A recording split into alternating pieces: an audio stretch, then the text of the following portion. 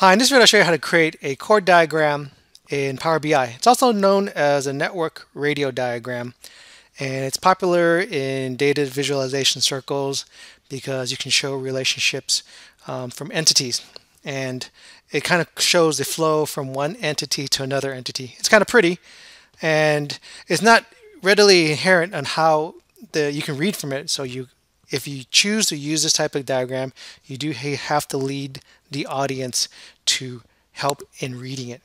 But this particular chord diagram comes from migration data between states in 2018. So I got this off of the US Census and it's basically state to state migration flows.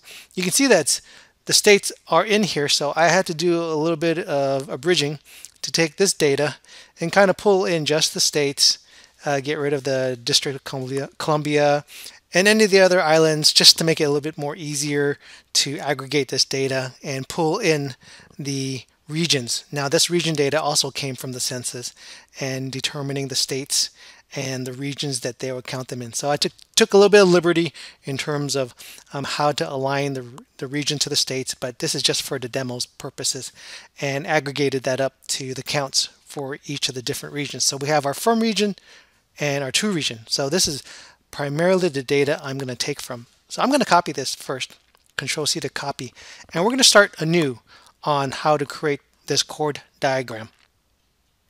So here I am in a new instance of the Power BI desktop.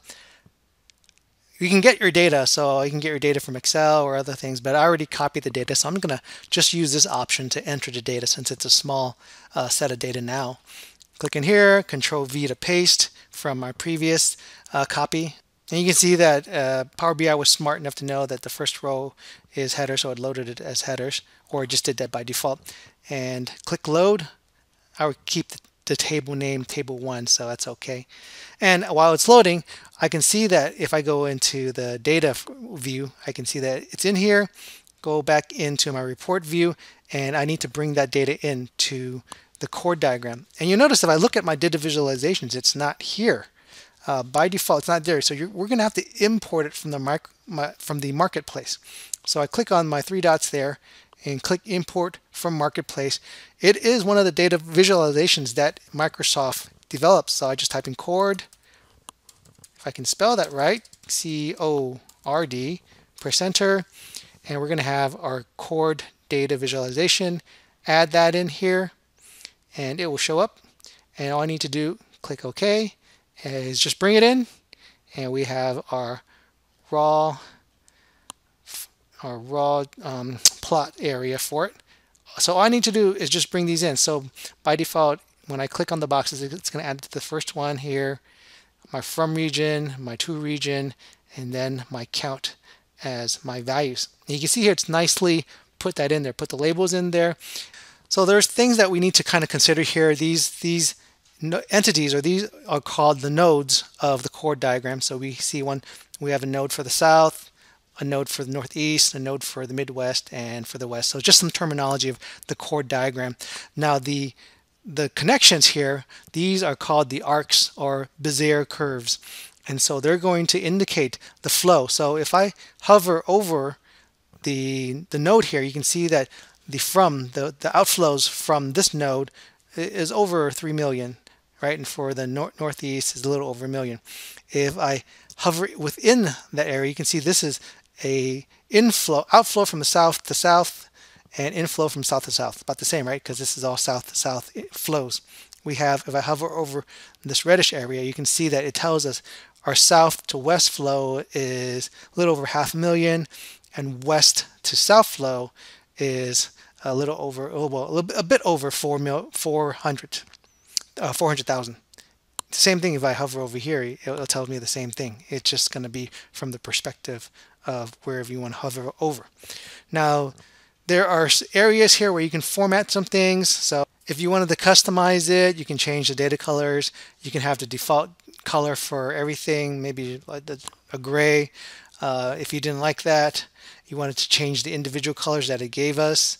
Uh, for the for the default, you can change the northeast here. We can change it maybe to red, and that changes for that. So this is something where if you wanted to highlight a certain node and its connections, you can do that here.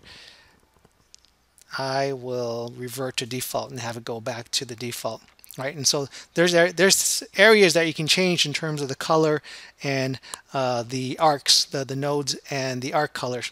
Now, what we can also do is if we wanted to have label colors for them, right now it's just gray.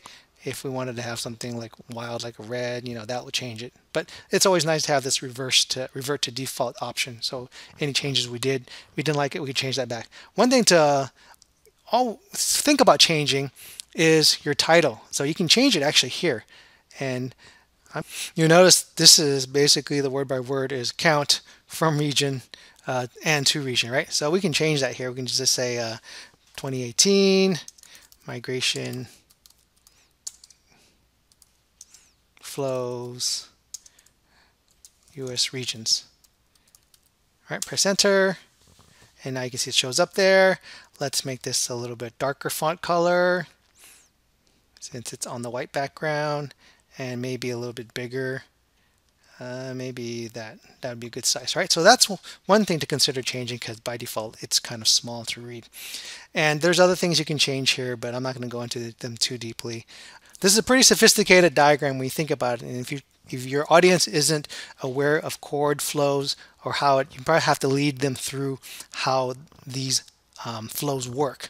So visually, it is nice. It's stimulating. And if you use this on a dashboard and you're there to provide interactivity, you can do that. You can just click on here. If I click on south, you can see everything kind of fades out a little bit and it highlight it shows the colors from south to the other regions a little bit more dramatically or a little bit more as opposed to if you're out here and you have everything in as its former color. So um, if you wanted to provide interactivity you're demoing this to someone, having this in the Power BI desktop or in a dashboard is great. If you just wanted to copy and paste it, this is also kind of visually nice because as I mentioned before, you can change the formatting and you wanted to just highlight one area. You can just make the other colors a little bit more mute, highlight that color, make it a more contrasting color, and copy and paste it and put it into an infographic or an article or a PowerPoint slide presentation. So that's the way that we can create a chord uh, diagram using Power BI. And we see it's not too hard to create. All you need is your from fields, your to fields, and your data number fields. So I hope that helps. Thanks for watching.